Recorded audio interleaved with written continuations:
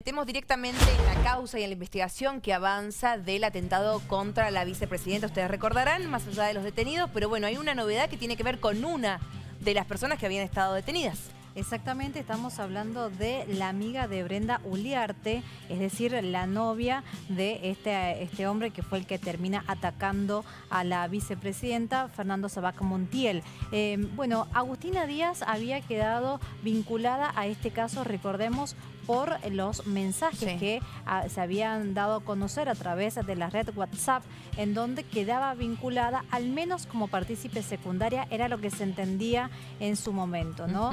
Ya que eh, habría tenido conocimiento acerca de este ataque, era lo que se presuponía eh, mediante esta investigación. Bueno, en el día de hoy se da a conocer que queda en libertad y esto es porque la justicia federal porteña entiende que no hay elementos comprobatorios en los cuales se pueda dictaminar que Agustina Díaz esté vinculada al hecho en sí mismo. O sea, no hubo nada más allá de esos mensajes que compartimos cuando se conoció su detención, aquellos que cambiaba con Brenda. Tal cual, es así. Eso es lo que ha entendido la justicia. Y también se eh, resolvió la situación de otro de los detenidos. Estamos hablando de Nicolás Gabriel Carrizo. Sí.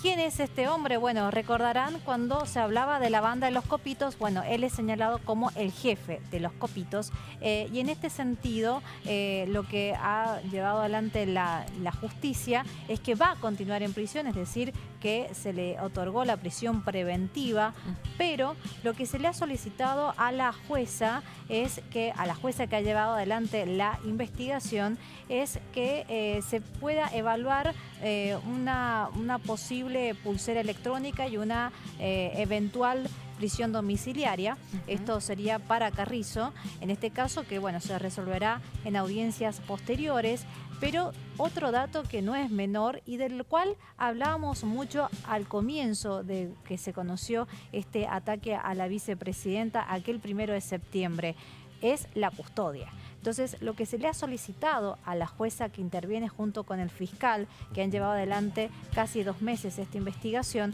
es eh, justamente que se investigue a la custodia de Cristina Fernández de Kirchner. Claro, que también fue que quedó ahí en el ojo de la tormenta, ¿no? Pero nunca se supo o no se ahondó demasiado, como que todo se centró en la banda de los copitos, por la cantidad de mensajes y todo lo que se habló, ¿no? Al comienzo, y es por eso que se investigó, sobre todo se hizo el foco en la participación de estas personas. Ahora, lo que se pide... Sí. Perdón, Sofía, es llamativo que... A Julián, mañana se cumplen dos meses de este hecho que ocurrió allí en la calle Juncal. Recordemos, en una manifestación que estaban esperando a la vicepresidenta, donde habían varios eh, eh, manifestantes, ¿no? Eh, esperando que llegara la vicepresidenta y en ese acto es donde ocurre este hecho, donde ella intenta recoger un libro que supuestamente se había caído y es allí cuando le gatillan eh, acá en la frente prácticamente. Ahora, y esto pasa en un momento clave también porque como se acerca la sentencia, la decisión final en la causa de vialidad, de vialidad puede que vaya otra vez mucha gente a querer recibirla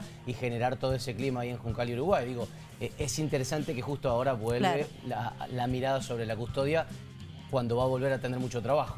Exactamente, bueno, todo está relacionado, ¿no? Eh, también sabemos eh, cómo se maneja este tema y bueno, es muy importante eh, la seguridad de la vicepresidenta para resguardar su figura porque lo que pasó fue muy grave. Entonces, obviamente que la seguridad ahora va a estar en el ojo ¿no? de la atención de que nada puede salir mal. Totalmente.